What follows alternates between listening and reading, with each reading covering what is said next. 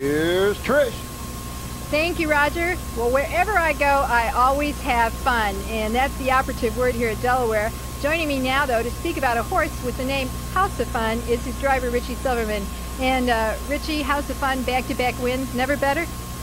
He's never ever been better. Uh, he's been racing tremendous really all year, even through the Meadowlands. He raced great.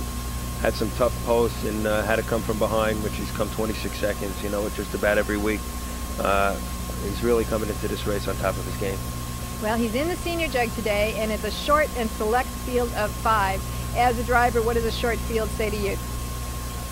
Well, a lot of times what will happen is he'll just uh, line up and walk around the track where there won't be enough action really for a closer or a uh, horse, you know, coming from off the pace. So it all depends how the race unfolds. Usually you want to be up a little tight up close in the short field. Well, you know, he was first up to victory in his last start, and that was on the big mile oval. How is first up on a half mile different? Well, I'd surely rather be first over on a half mile track than on a mile track. Uh, you have, you know, it's half the stretch to get home. And usually if you can collar the horse on the front coming around the last turn, you got a good shot to win. Where at uh, on a mile track, you have a very, very long stretch to contend with in front of you. That's right. That lane can look awful long sometimes. Well, you know most of these horses at House of Fun is in again, so give me a short assessment of today's senior jug. I think without a doubt uh, the horse to beat is Jet Lag.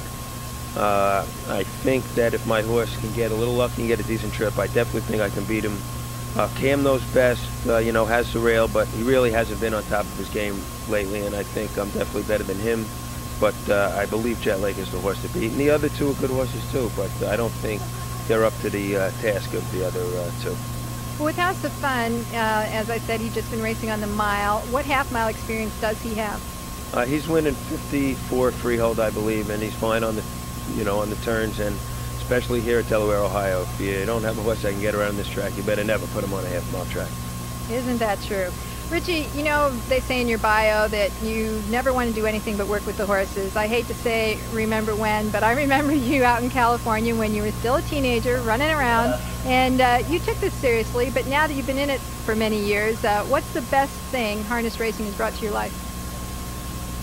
Uh, I guess really the closest that I've uh, occurred with my father, working with him every day, I would say would be the uh, the, the greatest thing about it. Besides all the enjoyment of the winning, and because there's a lot of loads that go along, you know, that go along with it. But uh, just the closeness that I've endured, uh, being able to work with my dad this closely. When you started out driving for your dad, there was a lot of people that didn't take you seriously. However, you've had longevity and you stuck right with it. Were there ever a day when you thought, "Yeah, I'm not going to last in this"? Well, you know, everybody anticipated that the only reason I was winning races was uh, because of my dad's horses and the quality of horses that he had, which has helped my career tremendously. But now, over the last five, six years, I've been at the Meadowlands without any of dad's horses during the winter. And I've been hanging in around 10th and the leading drivers there and uh, making a living. So I guess I proved them all wrong. I guess you did. Well, you keep hanging in there, Richie. Great to see you again, and good luck. Thank you very much. Let's go back to you, Sam. this is Roger again, Trish. That's